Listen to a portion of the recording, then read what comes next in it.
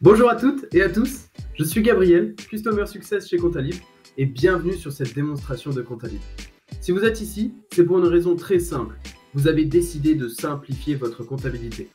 Le tout en pouvant vous consacrer majoritairement à votre activité. Et eh bien ça tombe bien, je vais vous montrer exactement comment faire ça. Vous pouvez voir chaque élément dans la vidéo en avançant jusqu'à la partie qui vous intéresse. Vous voilà connecté à Comptalib. Vous atterrissez sur l'onglet Performance qui vous servira de page d'accueil. C'est ici que vous allez pouvoir voir en temps réel l'entièreté de vos chiffres. Là, il n'y a encore aucune donnée, c'est parce qu'il n'y a encore aucune opération. C'est pourquoi l'étape qui est indispensable est l'importation de vos opérations bancaires. Et pour ce faire, il y a deux manières pour y parvenir. La première est la synchronisation bancaire qui vous sera proposée dès l'inscription, mais que vous pouvez faire quand même une fois inscrit si vous ne l'avez pas d'ores et déjà fait.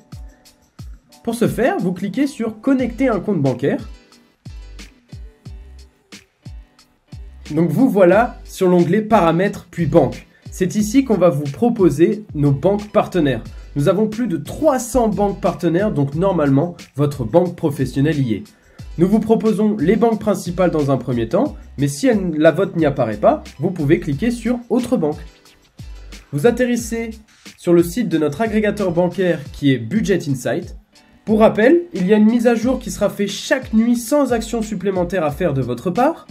Vos données sont entièrement sécurisées et vous pouvez même avoir plusieurs banques dans Comptalib. Pour ce faire, vous avez juste à mettre votre identifiant, votre mot de passe, vous cliquez sur connexion et tout est terminé. Votre deuxième solution sera l'import d'un fichier CSV ou d'un relevé bancaire sous format PDF. Et pour y parvenir, rendez-vous dans l'onglet Banque. Cliquez sur Importer des opérations en haut à droite. Et c'est à partir d'ici que vous pourrez rentrer vos documents. Vous pouvez télécharger notre modèle CSV et le remplir à la main ou importer directement votre relevé bancaire sous format PDF qui est téléchargeable directement depuis le site en ligne de votre compte bancaire. Sélectionnez un compte s'il est déjà créé ou ajoutez un nouveau compte pour que vous puissiez le nommer à votre guise. N'oubliez jamais de l'enregistrer et voilà, vous avez correctement importé vos opérations bancaires et dans le même principe que la synchronisation bancaire. En haut à droite, vous avez toujours accès au centre d'aide pour vous aider dans les différentes étapes.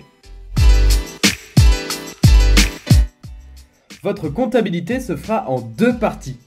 Dans un premier temps, vous allez devoir catégoriser vos opérations bancaires. Rendez-vous dans l'onglet Banque. Ensuite, je clique sur Opérations à annoter pour faire apparaître uniquement les opérations qui n'ont pas encore été annotées. Je vais ensuite cliquer sur l'opération bancaire que je souhaite annoter, comme par exemple celle-ci. Vous pouvez catégoriser ces lignes bancaires avec des comptes évidents, ce qu'on appelle des comptes génériques, comme par exemple des frais bancaires, mais aussi associer des tiers, c'est-à-dire un fournisseur ou un client. Dans un second temps, vous allez devoir annoter vos factures d'achat et factures de vente en y mettant les informations essentielles présentes sur vos factures. Nous verrons cette partie plus en détail dans la suite de la vidéo. Et une fois ces annotations correctement effectuées, le logiciel fera le lien automatiquement entre vos opérations bancaires et vos factures. Une fois vos opérations bancaires correctement annotées, vous pouvez vous rendre dans l'onglet Performance pour voir en temps réel les chiffres clés de votre entreprise.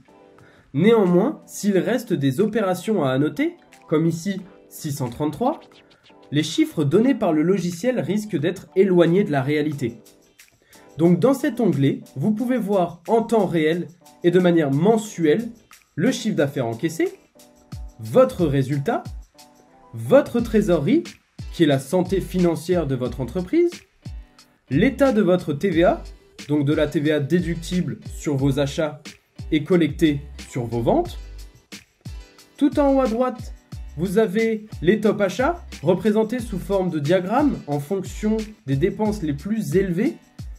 Vous pouvez cliquer sur voir le détail pour avoir un listing décroissant en valeur de vos dépenses. Vous avez la partie vente pour voir l'état des paiements de vos factures de vente Comptalib, donc celles qui sont payées, en attente et en retard. Et enfin, vous avez un calendrier des échéances à venir pour tout ce qui concerne vos obligations fiscales et comptables. Une fois vos opérations bancaires et factures correctement annotées et le taux de TVA bien renseigné, vous allez pouvoir générer votre première déclaration de TVA. Rendez-vous dans l'onglet TVA, puis cliquez sur Nouvelle déclaration. Pour rappel, en France, il y a trois régimes de TVA possibles. Le mensuel, trimestriel ou simplifié. La quatrième option est de savoir si vous n'êtes pas assujetti à la TVA. Là, nous pouvons voir que je suis en mensuel, puisque ma date de début est au 1er juin et ma date de fin est au 30 juin. N'oubliez pas de bien annoter toutes vos opérations bancaires sur la période concernée, sinon votre déclaration de TVA sera incomplète et donc fausse. Cliquez sur Suivant et il va me poser la question de savoir si une partie de mon activité n'est pas soumise à la TVA, comme par exemple si j'achète et je vends à l'étranger. Cliquez sur Terminer et en quelques clics, j'ai d'ores et déjà généré ma déclaration de TVA. Mais ce n'est pas tout.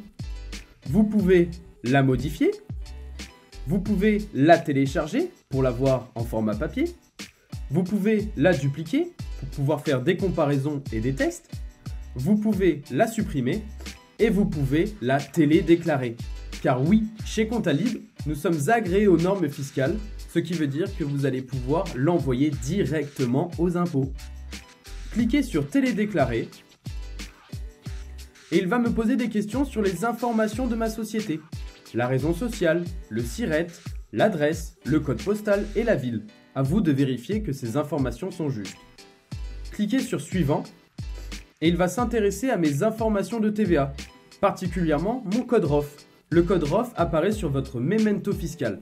Le memento fiscal est la lettre d'accueil déposée par les impôts lors de la création de votre société. Ici, nous sommes en TVA 1. Le montant du prélèvement va être automatiquement calculé par le logiciel. Et enfin, vous pouvez l'envoyer à votre organisme de gestion agréé. Cette fonctionnalité concerne uniquement les professions libérales. Cliquez sur Suivant et vous allez devoir renseigner le compte bancaire qui va être prélevé avec l'IBAN et le BIC. Cliquez sur Déclarer et tout est bon, vous avez télédéclaré votre TVA. Si vous avez des opérations en espèces, que ce soit des achats, des ventes, même un ajout ou un retrait de votre caisse, vous pouvez déclarer ça sur l'onglet Banque puis Espèces. Pour ce faire, vous cliquez sur Déclarer une opération en espèces. Vous allez devoir y mettre la date, le type d'opération, si ça a été un achat, une vente, un retrait d'espèces de la caisse ou un ajout d'espèces dans la caisse, le montant et le tiers correspondant. Pour rappel, le tiers pourra être un fournisseur, si vous avez fait un achat, ou un client, si vous avez fait une vente. Vous pouvez diviser en fonction du nombre de tiers qu'il y a sur l'opération. Et enfin, vous pouvez cliquer sur Enregistrer et vous avez correctement enregistré votre opération en espèces. Vous voilà dans l'onglet Achat. C'est ici que vous allez pouvoir déposer l'ensemble de vos justificatifs d'achat et les annoter. Cliquez sur Déposer une facture en haut à droite pour intégrer vos factures d'achat. Les formats autorisés sont PNG, JPG, JPEG et même PDF. Et vous pouvez importer jusqu'à 100 factures d'un seul coup. Et une fois effectué, n'oubliez pas d'enregistrer vous avez maintenant correctement importé vos factures d'achat. Maintenant, vous allez devoir les annoter, c'est-à-dire renseigner toutes les informations essentielles de votre facture. Cliquez sur Facture à annoter pour faire apparaître uniquement les factures qui n'ont pas encore été annotées. Cliquez sur la facture en question et vous allez devoir renseigner numéro de la facture, nom du fichier, fournisseur, date, avoir si c'en est un ou non, la catégorie comptable. Donc là, par exemple, pour Comptalib, ça sera logiciel, brevet, etc. Le taux de TVA et le montant TTC. vous avez un petit carré qui dit que notre logiciel de reconnaissance optique vous a aidé à reconnaître une partie des informations. Donc vous n'êtes pas seul. Sur vos factures, vous pouvez la télécharger si vous en avez besoin sous format papier, l'envoyer par email, comme par exemple lors d'un contrôle fiscal, la diviser. Donc là, s'il y a par exemple plusieurs catégories comptables dans votre facture, et enfin, vous pouvez la supprimer. Et voilà, vous avez correctement annoté votre facture. Vous voilà dans la partie note de frais. C'est ici que vous allez pouvoir déclarer votre note de frais. Pour rappel, une note de frais, c'est lorsque vous utilisez votre carte personnelle à des fins professionnelles. Comme par exemple si vous achetez vos marchandises avec votre carte personnelle. Pour en déclarer une, cliquez sur Créer une note de frais. Vous avez juste à joindre le fichier qui va servir de justificatif, comme un ticket de caisse, une facture, etc. Cliquez sur Enregistrer et vous avez correctement intégré votre note de frais. Ensuite, vous allez devoir la noter. Comme dans le principe des factures d'achat, vous allez devoir remplir les informations essentielles de votre note de frais. Numéro de la facture, nom du fichier, etc. Mais là, le plus important, c'est que vous allez devoir y mettre un collaborateur, c'est-à-dire la personne qui a utilisé sa carte personnelle. Vous cliquez ici et vous mettez le collaborateur en question. Et voilà, vous avez correctement annoté votre note de frais. Ensuite, vous pouvez créer une indemnité kilométrique dans le même principe qu'une note de frais, c'est lorsque vous utilisez votre véhicule personnel à des fins professionnelles. Cliquez sur Créer une indemnité kilométrique et rentrez toutes les informations demandées, comme par exemple le véhicule que vous avez utilisé, la distance, le motif, la ville de départ et d'arrivée, et toujours le collaborateur, c'est-à-dire la personne qui a utilisé le véhicule. Cliquez sur Enregistrer et dans le même principe que la note de frais, vous aurez correctement déclarer votre indemnité kilométrique. Dans la partie fournisseur, c'est ici que vous pouvez créer vos fournisseurs ou importer une base de données déjà existante. Cliquez sur Créer un fournisseur et là, vous allez pouvoir créer un à un vos fournisseurs directement dans Comptalib en rentrant toutes les informations essentielles, donc celles avec une petite étoile, et les autres informations pour que votre base de données soit le mieux renseignée possible. Vous pouvez aussi importer votre base de données existante sous format CSV en téléchargeant notre modèle et en rentrant les informations demandées. N'oubliez jamais d'enregistrer. Une fois vos fournisseurs créés, vous aurez un listing de ceux-ci et vous pourrez modifier leurs informations et même les supprimer.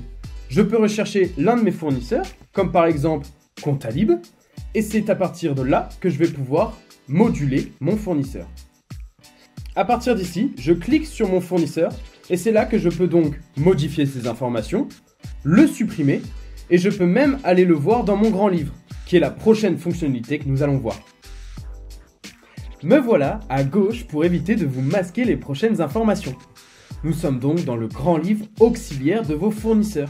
Cette rubrique va vous servir pour connaître en temps réel l'état des paiements de vos dettes fournisseurs et des factures non parvenues. Les montants débiteurs correspondent aux paiements effectués vers chacun de vos fournisseurs et les montants créditeurs aux factures reçues de la part de vos fournisseurs. Donc là, par exemple, je cherche l'un de mes fournisseurs, par exemple Comptalib. On peut voir que les factures sont au crédit et que les paiements sont au débit. Il y a donc trois cas possibles. Soit le solde est débiteur, donc votre fournisseur ne vous a pas encore transmis la facture, mais vous avez d'ores et déjà payé. Il y a le solde créditeur, donc votre fournisseur vous a transmis des factures mais vous n'avez pas encore payé. Et enfin, il y a le solde neutre, c'est-à-dire à zéro, donc tout est bien équilibré. Et voilà, vous avez appris à bien lire votre grand livre auxiliaire des fournisseurs. Nous avons donc vu comment annoter correctement vos opérations mais vous avez sûrement vu qu'il y a des fonctionnalités supplémentaires disponibles sur chaque opération.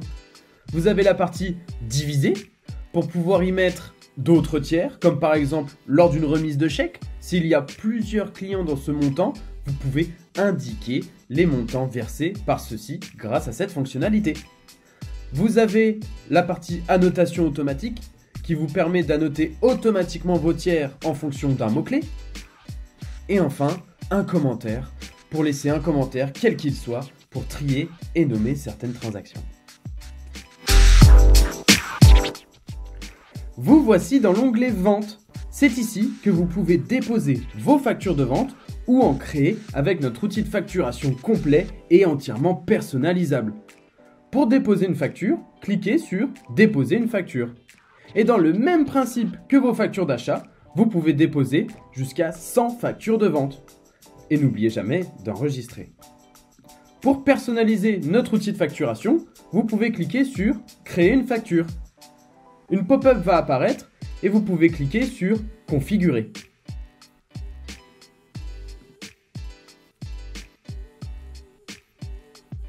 À partir de là, vous êtes envoyé automatiquement dans l'onglet Paramètres puis la section Vente et c'est à partir de là que vous allez pouvoir entièrement personnaliser votre outil de facturation. Dans un premier temps, nous vous proposons un lien de paiement par carte bancaire. Ce lien de paiement, vous pouvez le mettre sur vos factures, mais aussi l'envoyer par email. Il y a une commission de 50 centimes par lien de paiement et 1,89% en zone euro et 4,39% hors zone euro. En ce qui concerne le style de vos factures, vous pouvez y mettre votre logo, changer la forme de vos factures et même y mettre vos couleurs en fonction des couleurs de votre entreprise par exemple. N'oubliez jamais d'enregistrer. Vous pouvez faire apparaître vos mentions légales, donc les pénalités de retard, escomptes, indemnités forfaitaires, etc. Encore une fois, n'oubliez jamais d'enregistrer. Vous pouvez faire apparaître vos informations bancaires, donc la banque, l'IBAN et le BIC, et en fin de compte, vous pouvez faire apparaître vos conditions générales de vente. N'oubliez jamais de tout enregistrer. Et voilà, vous avez correctement personnalisé votre outil de facturation. Une fois la personnalisation terminée et bien enregistrée, vous pouvez retourner dans l'onglet Vente. Et comme vu précédemment, la section Paiement vous permet d'envoyer directement un lien de paiement par email à vos clients. Tout simplement, vous allez dans la section Paiement, vous cliquez sur Créer un paiement, vous mettez le nom de votre client, le montant TTC et vous l'envoyez par email. Tout simplement.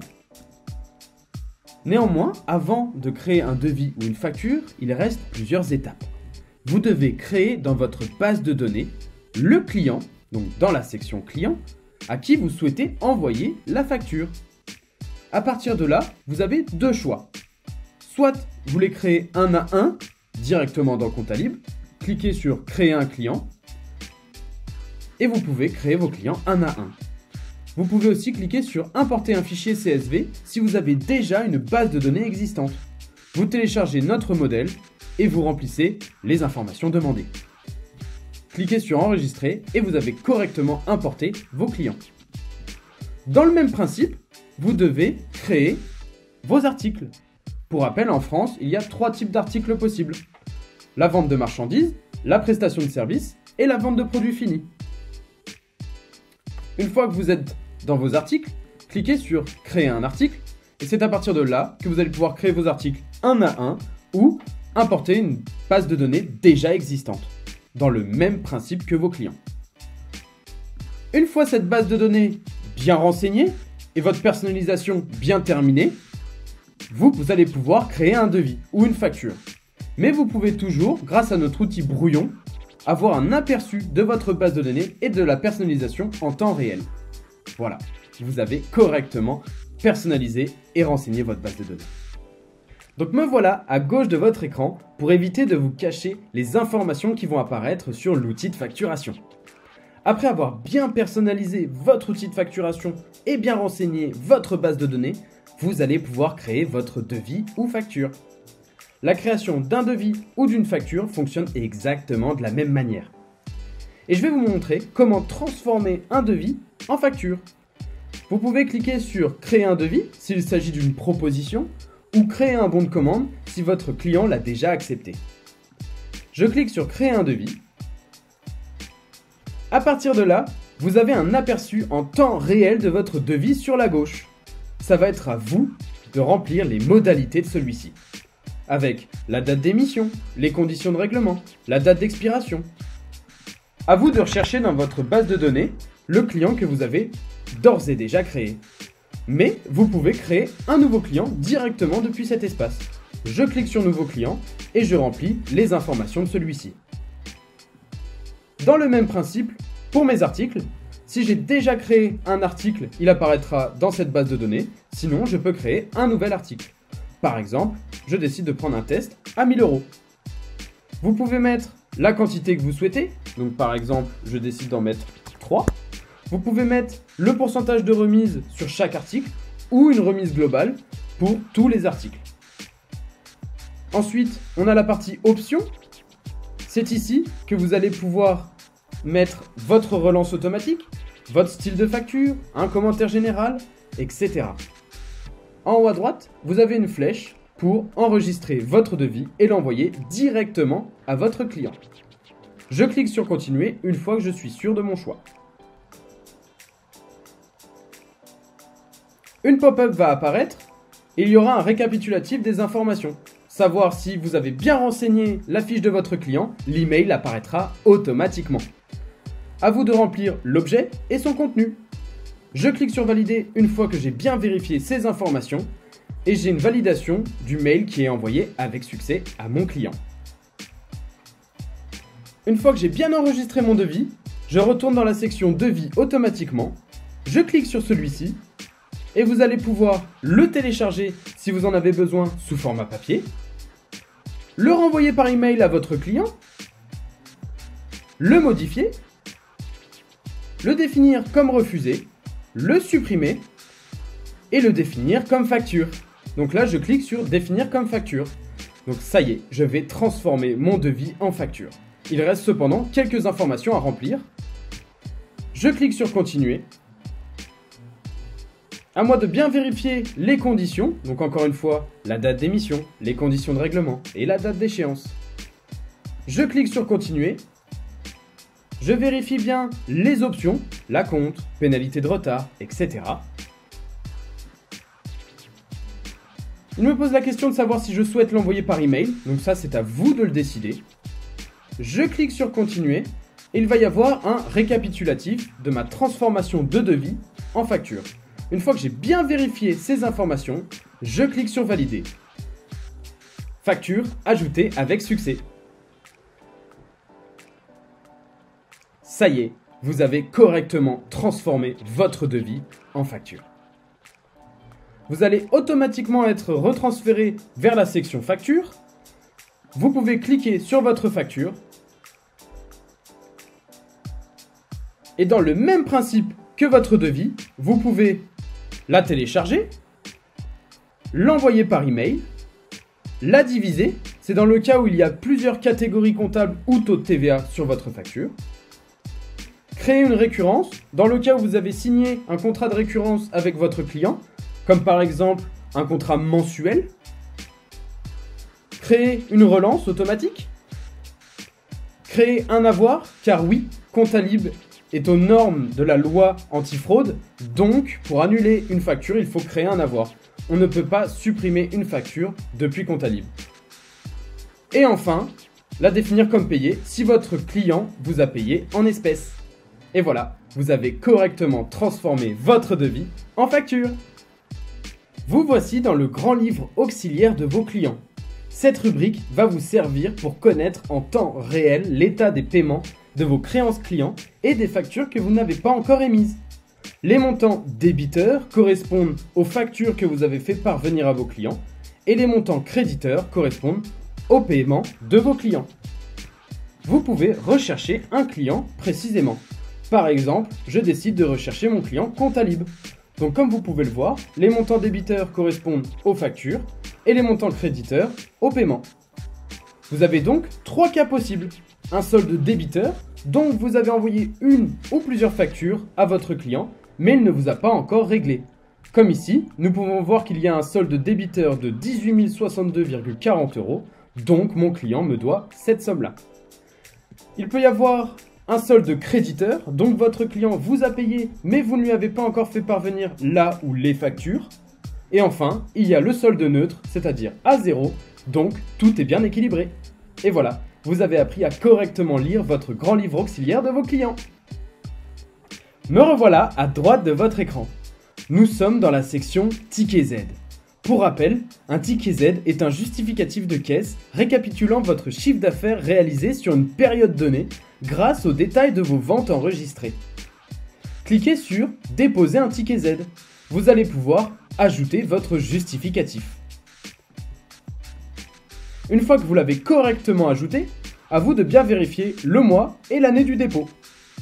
Je clique sur Suivant et je vérifie mes types de vente. Si je fais de la prestation de service, de la vente de marchandises ou de la production.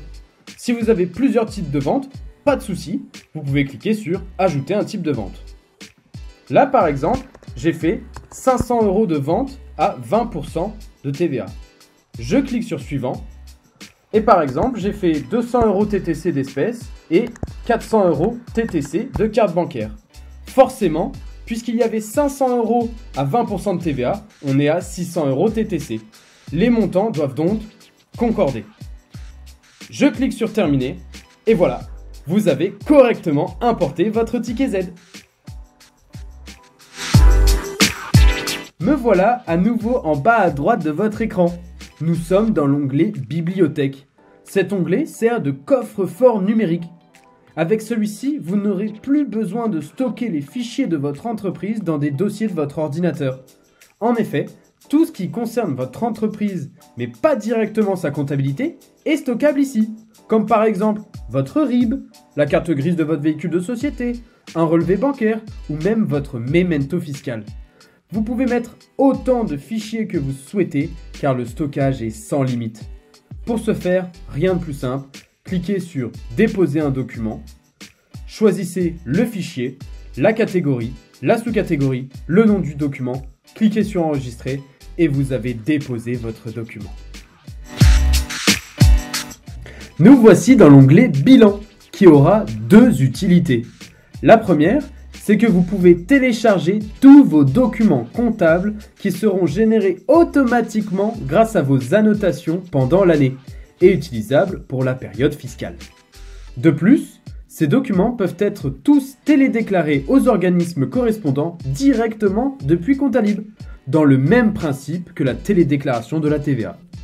Vous avez donc le grand livre général et la balance, qui sont des listings de toutes vos opérations comptables avec des montants débiteurs et créditeurs, votre compte de résultat avec vos dépenses et vos recettes, le registre des immobilisations. Pour rappel, une immobilisation, c'est un achat qui dépasse les 500 euros et qui n'est pas détruit au cours du processus de production. Vous avez la partie bilan qui est un bilan intermédiaire pour voir à l'instant T ce dont à quoi ressemble votre bilan. Vous avez la déclaration 2033, qui est la déclaration fiscale de votre entreprise.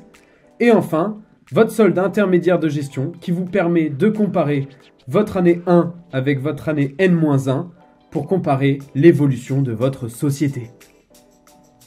Me revoilà à gauche de votre écran pour éviter de vous cacher les prochaines informations. La seconde utilité de l'onglet Bilan, c'est de pouvoir reprendre votre ancienne comptabilité.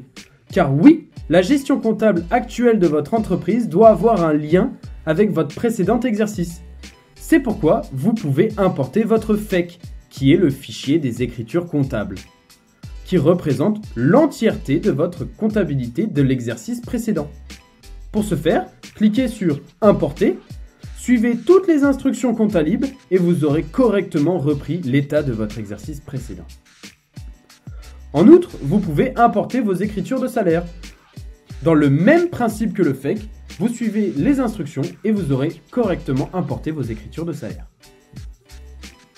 Vous pouvez renseigner l'inventaire des stocks, tout simplement pour le bilan final.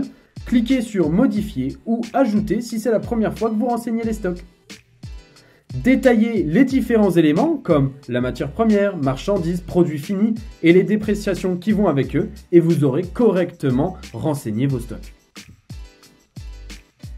Vous avez la gestion des emprunts si vous avez contracté un emprunt.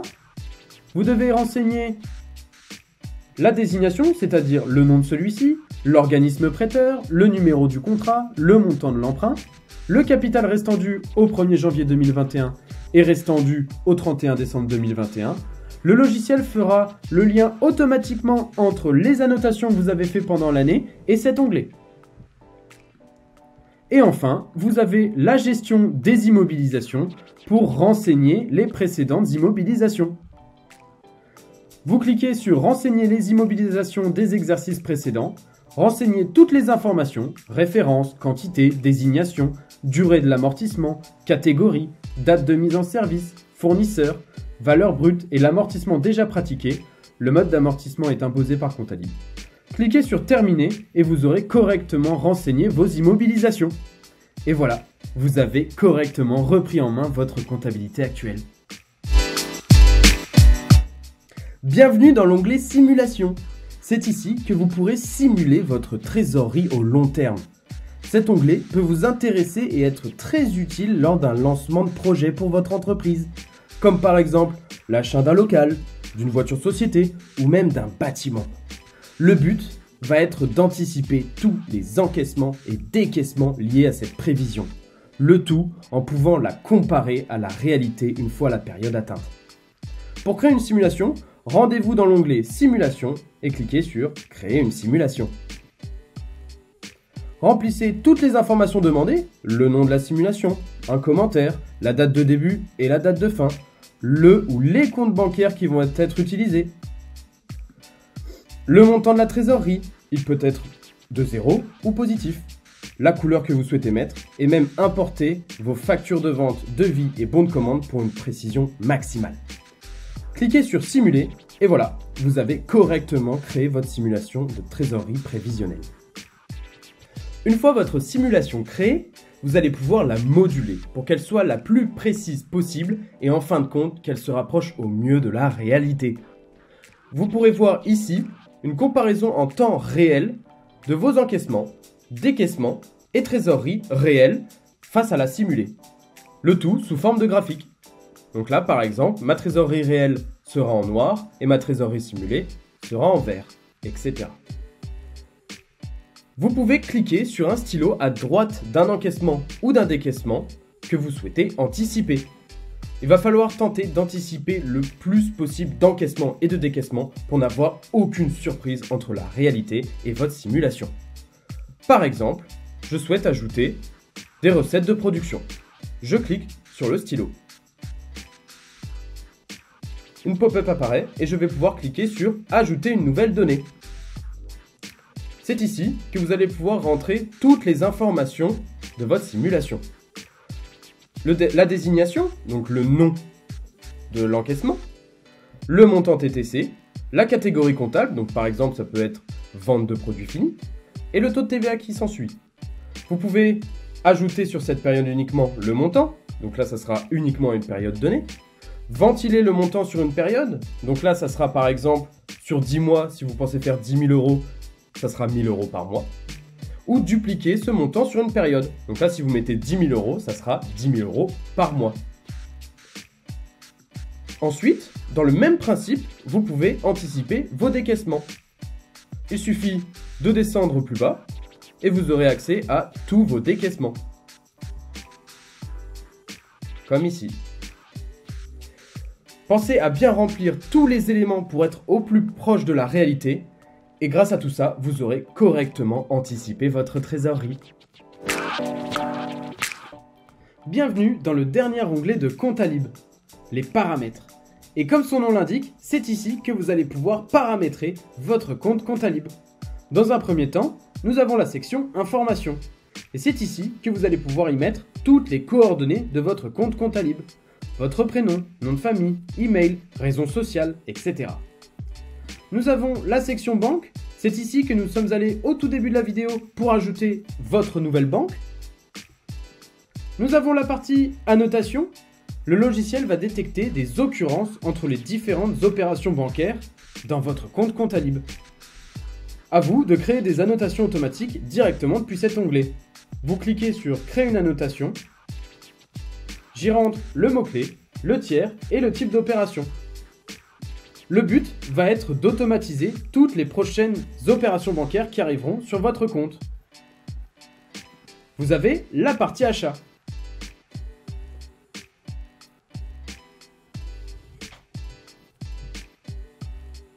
Et c'est depuis cet onglet que vous allez pouvoir créer un email Comptalib pour pouvoir y envoyer les pièces jointes que vous recevez sur votre email professionnel. Vous recevez vos factures d'achat sur votre email professionnel en pièces jointes, vous transférez votre email directement à l'email de Comptalib et la facture d'achat arrivera automatiquement dans l'onglet en question. Vous avez les collaborateurs à créer pour la partie des notes de frais et vous avez les véhicules à créer pour les indemnités kilométriques. Nous avons vu la partie vente pour moduler et personnaliser votre outil de facturation. Nous avons l'intégration. L'intégration va concerner uniquement les entreprises en e-commerce. Vous allez pouvoir intégrer des applications connectables dans Comptalib avec PrestaShop, Shopify ou WooCommerce. En intégrant une de ces applications, toutes vos ventes sur votre site e-commerce seront annotées automatiquement, donc avec l'opération bancaire qui sera annotée automatiquement et les factures de vente qui arriveront dans l'onglet vente automatiquement. Nous avons la partie export. C'est depuis cet onglet que vous allez pouvoir exporter toutes vos données comptables. Si vous les voulez sous format papier ou lors d'un contrôle fiscal. À vous de déterminer l'onglet en question et la période. Nous avons le plan comptable. C'est ici que vous pouvez masquer les comptes comptables que vous ne souhaitez pas voir apparaître sur votre compte Comptalib. Ou vous pouvez ajouter une catégorie pour ajouter des sous-catégories au compte par an. Nous avons la partie accès. Donc là, si vous voulez donner des accès à d'autres utilisateurs que vous, un autre associé, un comptable ou même un commercial, vous cliquez sur Inviter un utilisateur. Vous rentrez le prénom, le nom, l'adresse email et à vous de choisir les accès de celui-ci. Nous voilà arrivés à la fin. J'espère que vous avez apprécié ce tutoriel en ma compagnie et que cette démonstration vous a donné envie de gérer votre comptabilité avec nous. Si vous avez des questions quant à l'utilisation du logiciel, une équipe support, dont moi, est disponible pour y répondre. Et n'oubliez pas, vous avez 14 jours d'essai gratuit et le tout sans engagement. À bientôt chez Comptalib